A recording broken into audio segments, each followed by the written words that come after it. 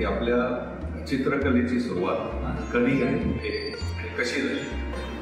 आवड लहानपणापासून होती. दोन गोष्टी खूप आवडायच्या एक चित्रकला आवडायची संगीत जास्त आवडायचे. आणि कुठं जायचं असं एक प्रश्न त्यावेळेला होता पण तेवढा ॲक्टिव्ह नव्हता. अं, मला दहा बारा वर्षाचं असताना थोडासा श्वास विकार म्हणतात भाव अस्थमा तसा एक प्रकार काढला त्यामुळे मला संगीताचा नाद जो होता तो सोडून द्यावा आणि उदास सर्व.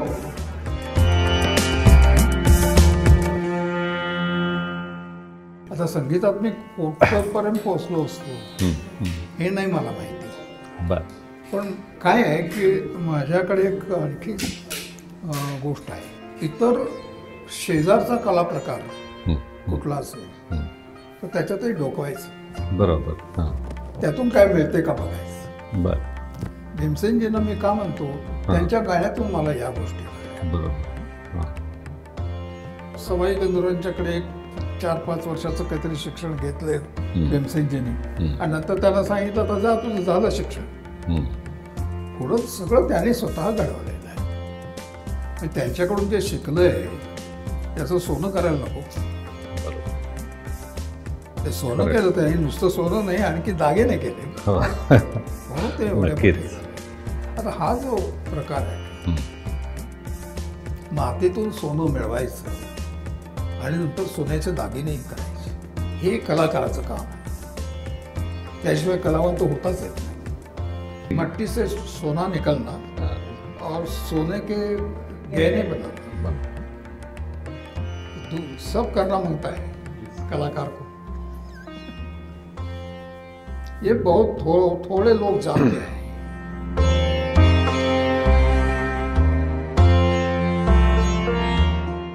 माझे वडील उत्तम चित्रकार होते म्हणजे ते हायस्कूलमध्ये शिक्षक होते. मी पोर्ट्रेट करायचे लँडस्केप करायचे. इतका मोठा फरक. होता आणि कलर सेन्स फार सुद्धा होता. त्याचं वैशिष्ट्यपूर्ण पर्सनॅलिटी होती. त्याचा माझ्यावरती तर फारच प्रभाव पडलेला आहे. ते म्हणाले एक तत्व पाठ जागेला जिन्नस अरे आणि जिन्साला जागा. हे तत्व पाळशील तर आयुष्यात सुख होशील असं त्यांनी मला सांगितलं.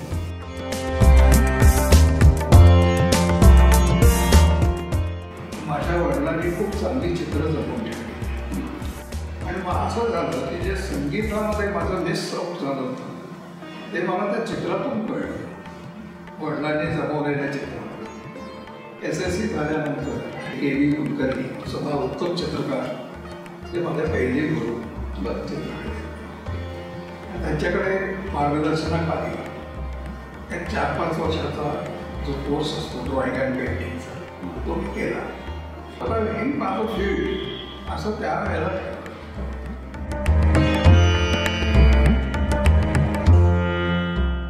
नवीन जे काही कलाकार पुढे येतात किंवा ज्यांना पॅशन आहे काही चांगले मंत्र जोपासायचे. शिस्त आणि डिस म्हणजे रुटीन या अ, बद्दल तुम्ही काय सांगू? शिस्त आणि डिसिप्लिन ह्या गोष्टी हव्यातच. हव्यातच. हव्यातच.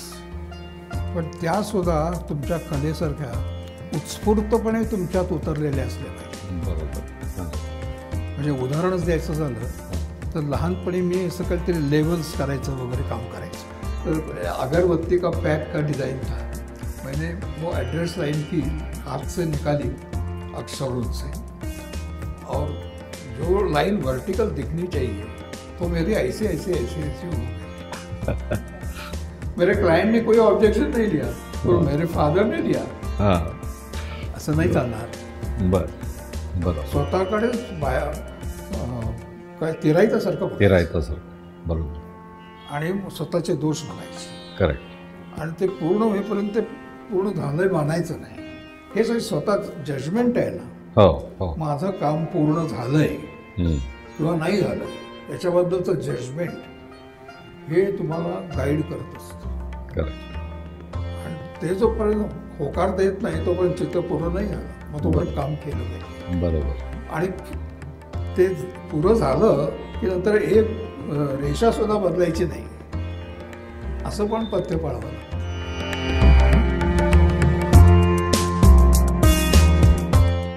तर डिप्लोमा माझा झाला. सत्तावन्न साली डिप्लोमा झाला. अठ्ठावन्न साली एक छोट्याशा जॉबची जाहिरात झाली मुंबईत. त्याला मी रिस्पॉन्स दिला. माझे स्पेसिफिक्स आवडली. पॉईंट केलं त्याने मला. पण सहा महिन्यात फक्तच मला जॉब केला. माझा प्रॉब्लेम नव्हता. त्यांच्याकडे जे काम मी जे प्रॉमिस केलं ते त्यांना आता मिळणार नाही. असं ठरलं की मला एक जॉब दुसरा मिळाला एक दुसऱ्यासाठी. पण एक कंडिशन होती. ती कंडिशन अशी होती की ग्लॅक्सो बेबीज याचं कॅलेंडर मी करायला पाहिजे एक चित्र करायचं. ते प्लॅन करून थ्रू झालं तर माझा जॉब ऑफ अशी कंडिशन त्यात एक दिवशी रविवार होता काहीतरी चाळा करायचा. म्हणून तर कागदाच्या तुकड्यावरती. मी ब्रशने ड्रॉइंग काढला त्याला डुडलिंग म्हणतात. असं पण काही त्याला निरर्थक काही असं पण तो मला अचानक त्याच्यामध्ये काही पॉसिबिलिटीज दिसल्या. ते बीज सापडलं असं म्हणता येईल. हा. माझ्या स्वतःच्या चित्रकार म्हणून ओळखीचं बीज सापडलं. मला माझी शैली सापडली. आणि मी त्याचं वर्णन एका ठिकाणी असं केलेलं आहे की रेषेचं नाद रूप मला कळलं नाद रूप तर हे म्युझिक कुठंतरी आत होतं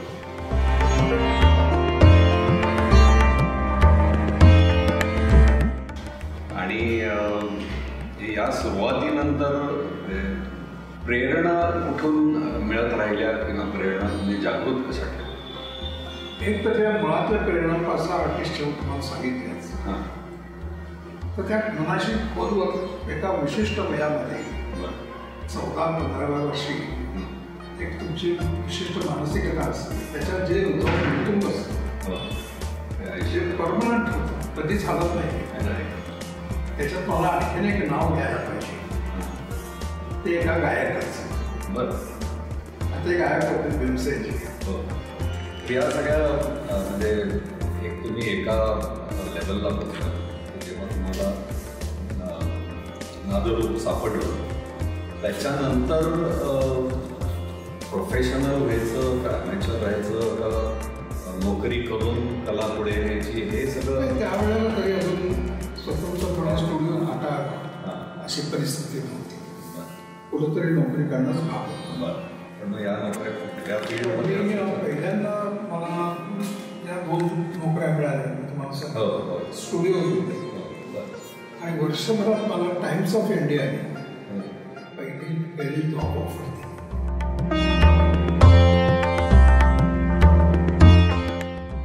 गंमत अशी झाली की जो रिलॅक्सोचा प्लॅन परंपरेने टाइम्सचा होता. तो पहिल्यांदाच माझ्या चित्रामुळे शिफ्ट झाला तो पुस्तक मग नॅचरली टाइम्समध्ये चर्चा सुरू झाली पिढी काढतो तर तिथं रमेश संस्कृती म्हणून तेच डेप्युटी आर्ट डायरेक्टर म्हणून जॉईन झाले. टाइम्स ऑफ इंडिया त्याने ठरवलं हा मुलगा आपल्याकडे पाहिजे.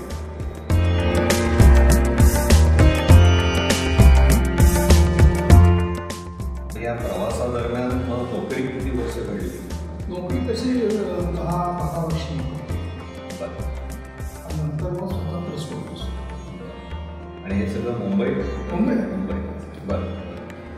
खूप वेळ ते त्याचं फारशी पण हां.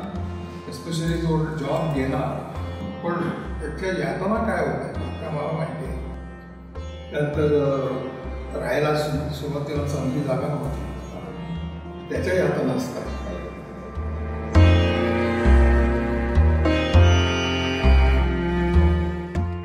भीमसेनजी एकदा आले ते इथं. मी बोलावलं होतं त्यानं मुद्दा तर म्हटलं याल का चित्र बघायला येतो की म्हणाले आणि बघितली सगळी आणि म्हणाले की तुम्ही रंगांशी खेळता आम्ही सुरांशी स्वरांची.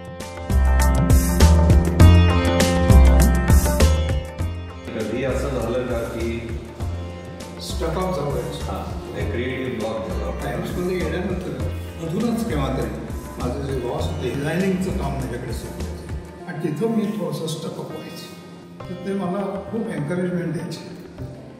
मग त्यावेळेला ते मला सांगायचं आज थांबव का? पिक्चर जाऊन बसतो आणि उद्या फ्रेश माइंड मी पुन्हा सुरू असं सांगणारं बॉस मिळणं केवढं नशीब. हो माझं जे काम होतं ना ते कमर्शियल स्वरूपाचं होतं. बरोबर. म्हणजे कमर्शियल फील्डनी जनरेट केलेलं काम. परंतु त्याला माझा रिस्पॉन्स हा अभिजात होता.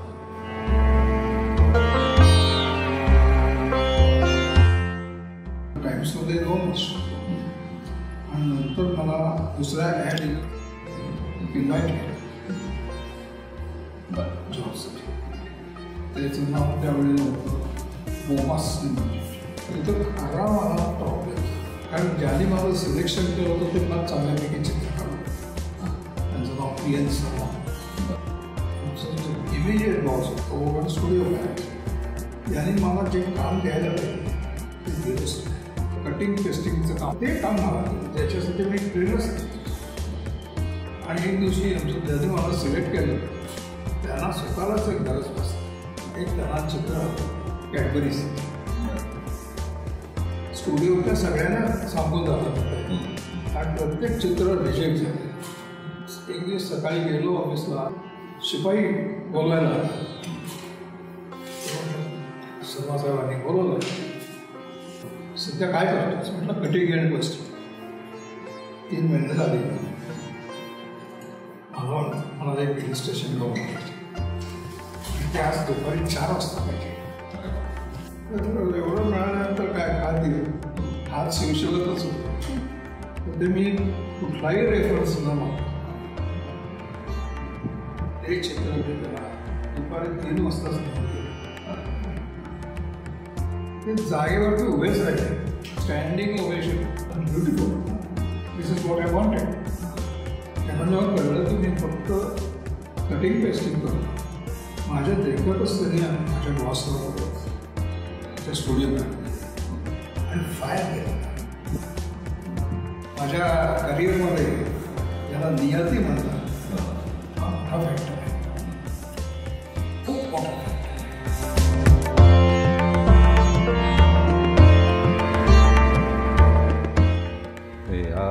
मग आता या प्रवासादरम्यान मग संसार कधी सुरू झाला? संसार त्रेस त्रेसष्ट साली. म्हणजे मी ॲडव्हर्टायझिंगमध्ये नोकरीला लागलो. त्या वर्षीच माझं लग्न झालं. तर हे जे शर्मा साहेब आहेत ना त्यांनी त्यांच्या मेहण्याची जागा मला मला दिली मिळवून बर. तर हे शर्मा साहेबांचा तर रोल फार मोठा सगळा नियतीतलाच भाग आहे. असं म्हणायला हरकत नाही.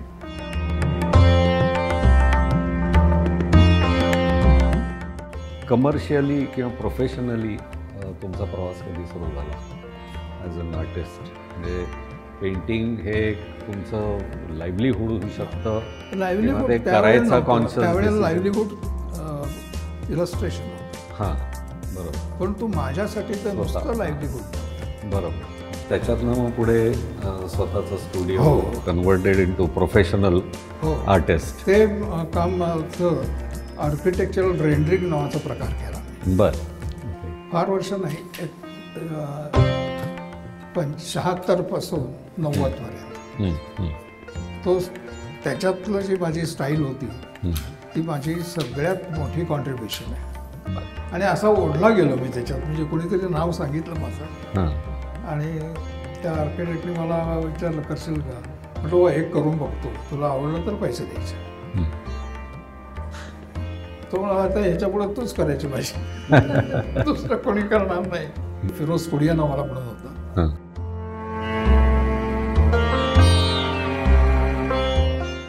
मध्येच पेंटिंगचं हे सुरू झालं. पहला एग्जीबिशन 80 में हो गया. मैं डिप्लोमा पास किया 1957 में. मैंने इक्कीस पेंटिंग्स की थी पहले शो में. उसमें से इक्कीस सेल हो गई। और उनमें से दस पहले दिन में। आ, शायद जो पहला सेल हो गया वो शायद बाहर है। शायद लंदन में है।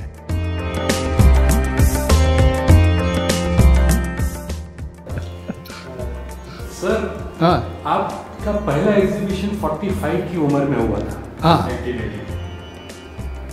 नॉर्मल आर्टिस्ट जो ब्लूम करते हैं तो ये आपका एवरेज एज था कि आप अभी यंग थे कि नॉर्मल की कंपैरिजन में उम्र हो गई थी आपकी? नहीं मैं मैं मैच्योर था। जो शुरू में करते हैं ना कल डिप्लोमा हो गया अभी आज हाँ एग्जीबिशन हाँ। वैसा मेरा केस नहीं था। अच्छा। I was a mature artist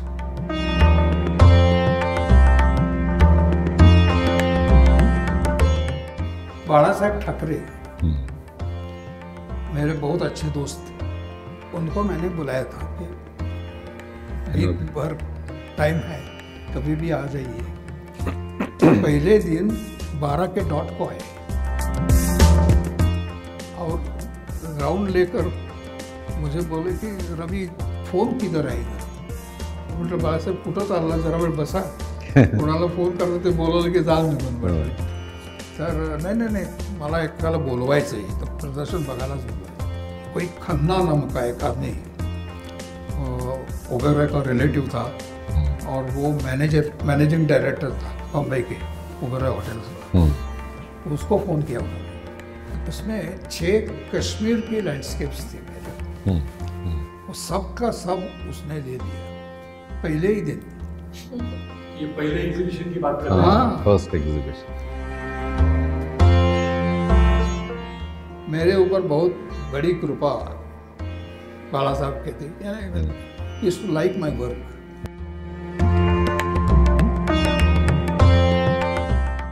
असं कोणी रिक्वेस्ट केली किंवा भरीस पाडली सॉर्ट ऑफ ते करताना क्रिएटिव्ह सॅटिस्फॅक्शनचा क्वेश्चन तसाच राहतो. हो तसंच राहतं. त्यात असं वेगळं. काही वाटत नाही. अं, जास्तीच लोकांना क्रिएटिव्ह रिस्पॉन्स देणं हा. तुमचा मग श्वासोच्छ्वास होतो बरोबर प्रॉब्लेम समोर आला. की तुमचं क्रिएटिव्ह ब्रेन सुरू होणार कळलं कधी आणि मग आयडिया सुचणं. हे सगळं आपोआप घडायला.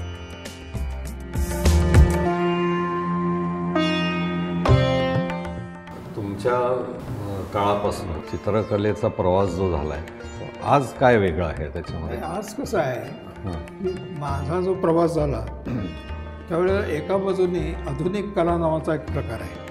तेही चालू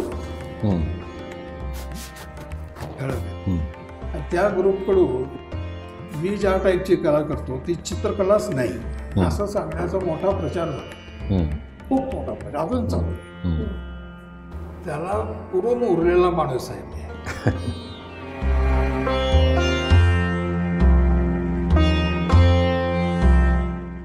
एक क्रिएटिव्ह अनरेस्ट जी असते ना ती अतिशय महत्वाची आहे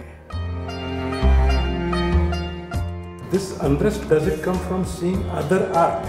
it it is both ways you know i'll tell you another artist has said influence creates nothing Correct. it only inspires inspire पेक्षाही चांगला शब्द वापरला त्यांनी Awakens. Influence creates nothing but it awakens. म्हणजे क्रिएटिव्ह अर्ज ही स्वतःचीच पाहिजे. ती सुरू व्हायला पाहिजे.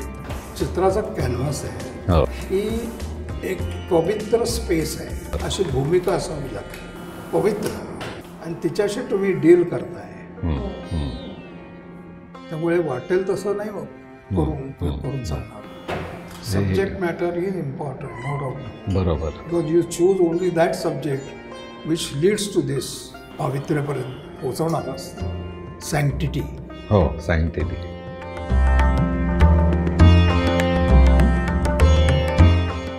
आजपर्यंत साधारण किती मुलांना तुम्ही शिकवलेत? शिकवलं. तसं फार नाही. फार नाही. बर. म्हणजे मी क्लासेस कधीच घेतले बर. पण थोडा वेळ हो हो हो मुंबईतही नाही कधी पण जे जेमध्ये अं, शिकवायला जायचो नाना पाटेकर था ना तभी हाँ तभी मैं भी सिखाने को जाता था अच्छा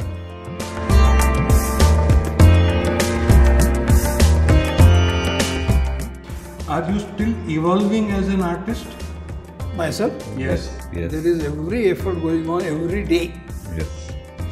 Is that a conscious effort or it is internal? It keeps Internal- coming out. internally I will tell you one thing. दोन हजार अकरा साली माझ्या डाव्या डोळ्याचा प्रॉब्लेम झाला. डोळ्यापुढं पॅच आलं. बर. त्याला औषध एकच. ऑपरेशन तीन इंजेक्शन्स घ्यावी लागतात. ते नॉन स्टेरॉइड टाईप तीन घेतली. पॅच गेला पण तेव्हापासून माझं बारीक काम करायची जी माझी स्पेशालिटी होती. ती मला सोडून गेली. अरे वर्षभर मी सैर भैर झालो. हो खरंय. आता काय करायचं? ते माझी स्पेशालिटीच माझ्याकडची नाही. काय करायचं? नंतर मी पुन्हा सुरू केलं. आणि त्यासाठी मी काय काय केलं? मी टोटली इनोव्हेटेड स्टाईल केली. बर. कळणार नाही कदाचित तुम्हाला.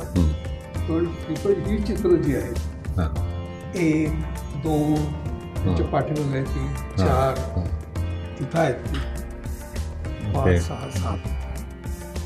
ही चित्र मी त्या नव्या पद्धतीने काढली. त्यासाठी माझं स्वतःचं मीडियम शोधून काढलं. रंग लावायची पद्धत पेंट अप्लिकेशन बदल माझी नवी शोधून काढली. It was a very man who had stop painting started painting चालू पाहिजे. त्यातनंच ते येतं. त्यातून पण ह्या ह्याच्या कितना कैनवास खर्च किया मैंने? एक्सपेरिमेंट में कलर्स खर्च किए. टाइम तो गया ही. लेकिन कुछ हाथ में लगा।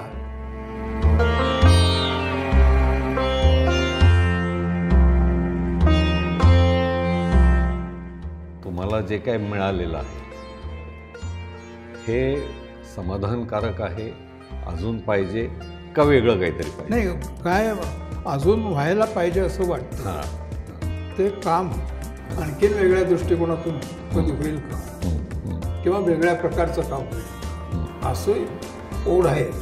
म्हणजे अजूनही मी अस्वस्थ होतो. ते जर का नाही मिळालं मला हां तर अस्वस्थ होतो. हे क्रिएटिव्ह अनरेस्ट जी असते ती अतिशय महत्त्वाची आहे. ती पाहिजे. कॉन्स्टंटली ती पाहिजे